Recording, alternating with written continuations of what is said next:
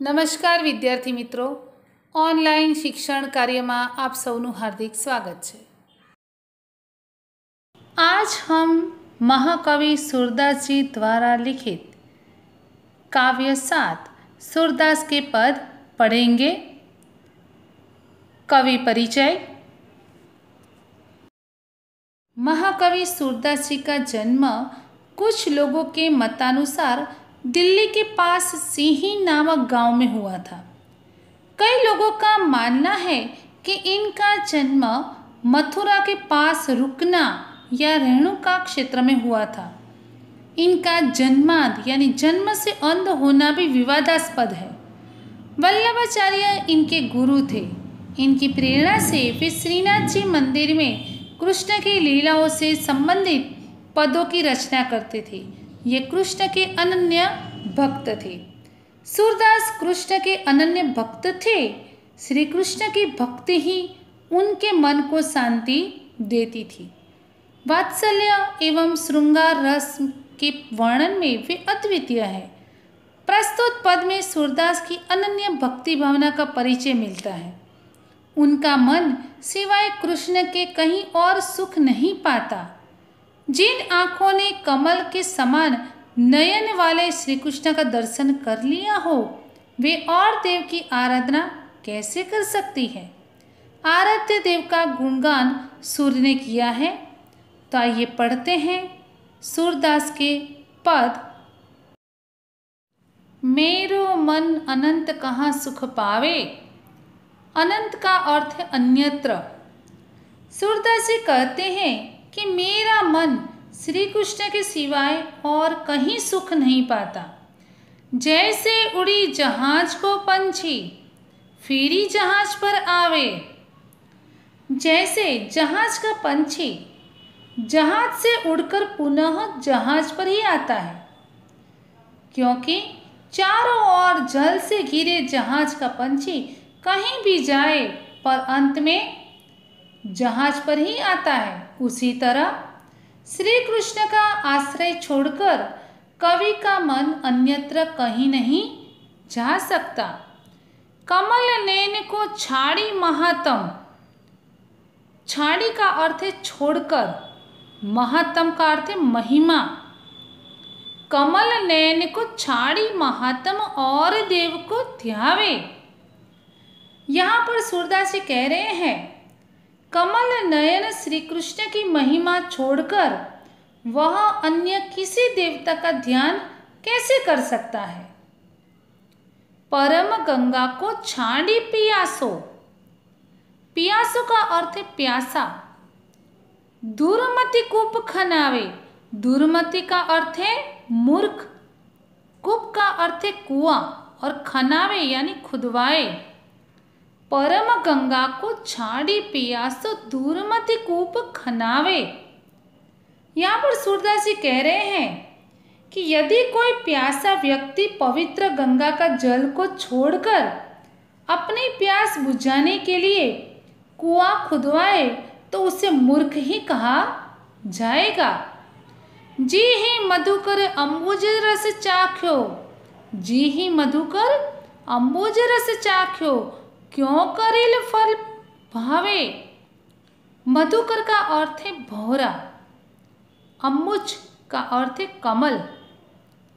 यहाँ पर सूरदास जी कह रहे हैं कि जिस भौरे ने कमल के रस का स्वाद चख लिया हो, उसे करेल का फल कैसे अच्छा लगेगा?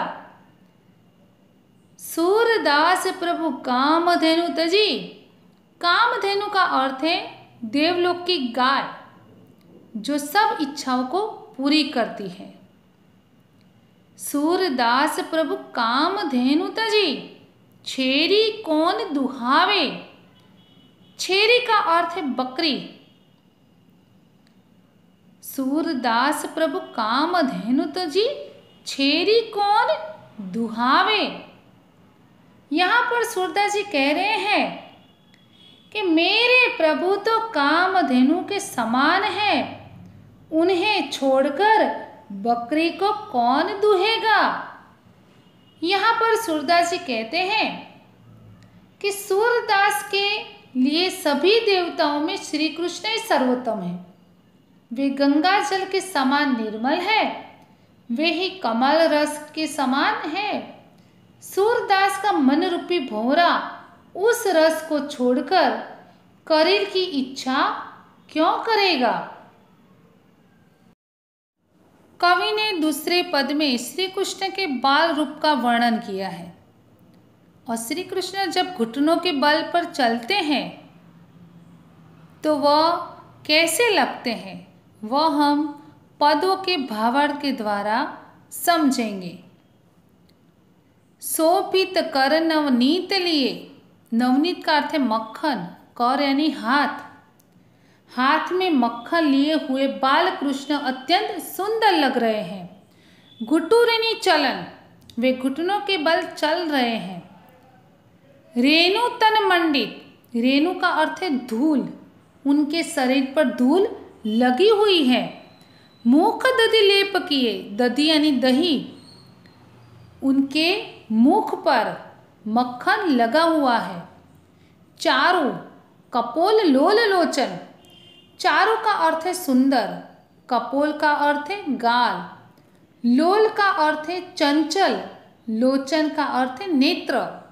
चारू कपोल लोल लोचन और उनके गाल सुंदर और नेत्र चंचल है।